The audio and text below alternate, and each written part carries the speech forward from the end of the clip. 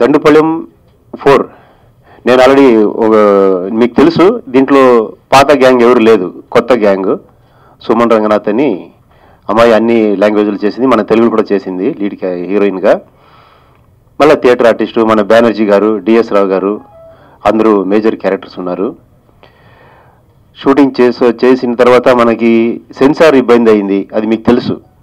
మన కర్ణాటకలో ఆఫీసర్ దాన్ని రిజెక్ట్ చేశారు. ఈ సినిమా చూడడానికి లేదని. తర్వాత ఆయన రివైజింగ్ కమిటీకి పెట్టాడు. రివైజింగ్ కమిటీ కూడా చాలా ఖర్చు అంటే సినిమా ఏమీ లేకుండా ఖర్చు ఇచ్చారు. తర్వాత నేను అక్కడి నుంచి మీకు ప్రెస్ మీట్ పెట్టి చెప్పాను ఆ రోజు. ఇలా రిజెక్ట్ అయ్యింది మన ప్రాజెక్ట్ రిఫ్యూజ్ అయ్యిందని. ఇప్పుడు నేను దాన్ని ట్రిబ్యునల్ అంటే ఎఫ్ క్యాట్ ఢిల్లీకి తీసుకుని వెళ్ళాను. అక్కడ కూడా చాలా పెద్ద పొరపాటు జరిగింది. స్టార్టింగ్లో అక్కడ అక్కడ రిటైర్డ్ జడ్జ్ జడ్జి ఉంటారు. నేను మళ్ళీ ఆరు ఇద్దరు కూడా వాదిలు ప్రతిపాదిలో ఉంటారు. ఉంటాము ఇద్దరు కూడా. సో అక్కడ కూడా చాలా డిస్కషన్ జరిగింది. ఇదేంటి దీన్ని వదలనా వద్దా అని. తర్వాత వాళ్ళు జడ్జ్ ఫైనల్గా వాళ్ళకి అర్థమైంది ఈ సినిమా కంటెంట్ ఏంటి? వీళ్ళు అసలు ఏమి చెప్పడానికి వస్తున్నారని. స్టార్టింగ్లో ఆయన కూడా కొంచెం గాబరి పడ్డాడు. ఏంటి అలా అలా అని. తర్వాత ఆయన కూడా కన్విన్స్ అయింది. సొసైటీకి ఇది కావాలా? సో వీళ్ళు చెప్పేది కొంచెం ఓవర్గా ఉంటే కూడా డెఫినెట్గా ఇది సొసైటీకి హెల్ప్ అవుతుంది. అది ఫైనల్గా చిన్న చిన్న ల్యాగ్ అది యాక్చువల్లీ ల్యాగ్ మనమే తీయాల్సింది అది. అది సెన్సార్ తర్వాత చూద్దామని పెట్టాము. ఆ ల్యాగ్ అని తీసారు అంతే తప్ప ఇంక పెద్దగా మనకేమి సెన్సార్ కట్స్ ఏమి ఇవ్వలేదండి. నేను అక్కడ కూడా కాలేదంటే నేను కోర్టు కూడా వెళ్ళడానికి కూడా సిద్ధంగా ఉంటాయి ఆ రోజే మీకు చెప్పాను.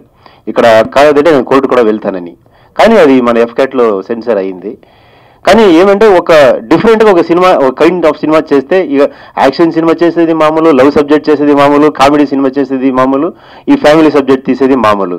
అవన్నీ వదిలేసి మనం ఏమైనా డిఫరెంట్గా ఏమైనా తీయాలి డిఫరెంట్గా ఏమైనా ఇవ్వాలని పడితే టార్చర్స్ మొదలవుతుంది.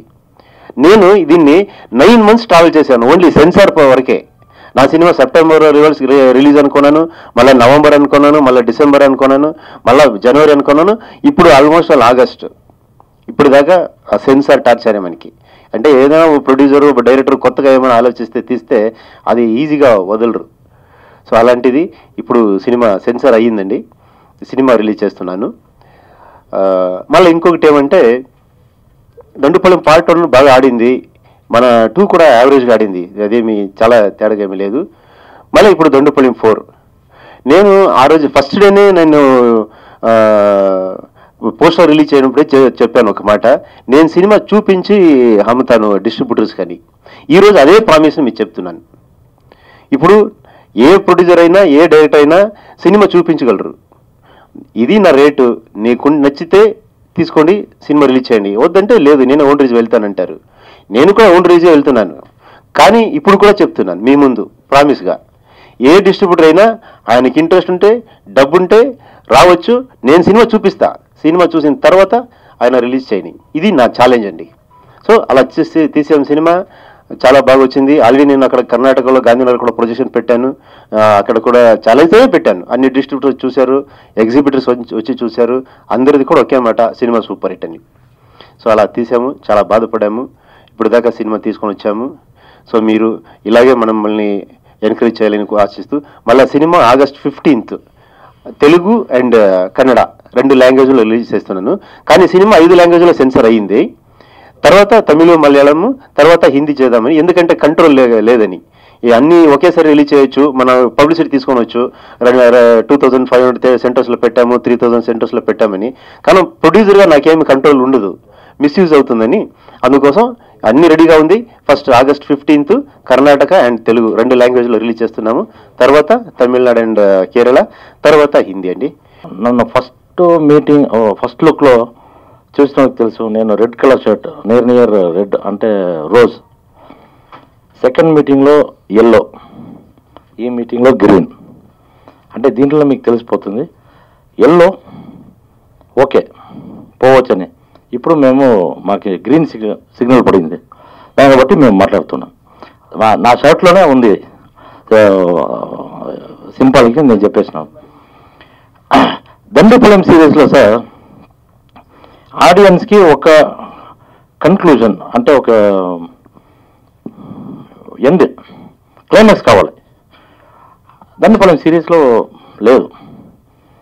ఈ ఫోర్లో చేస్తామని నేను ప్రొడ్యూసర్ గారి దగ్గర చాలా డిస్కస్ చేసి దండపాలయం ఫోర్లో ఒక మంచి క్లైమాక్స్ పెడతాం. అది ఇండియాలో యా సినిమాలో ఉండకూడదు. అట్లాంటి అలాంటి క్లైమాక్స్ పెడతామని పెట్టినాం. నాకు తెలిసినట్లు యా సినిమాలో లేదు. అలాంటి ఒక క్లైమాక్స్ పెట్టినాం. అందరూ గెస్ట్ చేశారు ఇలాగే అవుతుంది అని. అది కాదు. ఇలా చేసినాడు అంట అని అనుకుంటారు అది కూడా కాదు. ఏమో ఒక డిఫరెంట్గా అయితే అది క్లైమాక్స్ సార్ మళ్ళీ ఇంకోటి ఏమంటే ఈ యూత్స్ ఇప్పుడు ఏమంటారంటే ఏం పెద్దగా దండ్రి పొలాలు ఉంటాయి? మన చేతిలో ఆండ్రాయిడ్ ఫోన్ ఉంది. దాంట్లో ఏం కావాల్సినవి వస్తాయి? యూట్యూబ్ ఉంది. ఏమేమో ఉంది? ఫేస్బుక్ ఉంది ఇన్స్టాగ్రామ్ ఉంది ఏమేమో ఉంది. దాంట్లో లేకుండా ఉంది. ఉమ్, పొలం ఫోన్ ఏం పెట్టినారు అని ఫస్ట్ రోజు చూసి వస్తే చెప్తారు.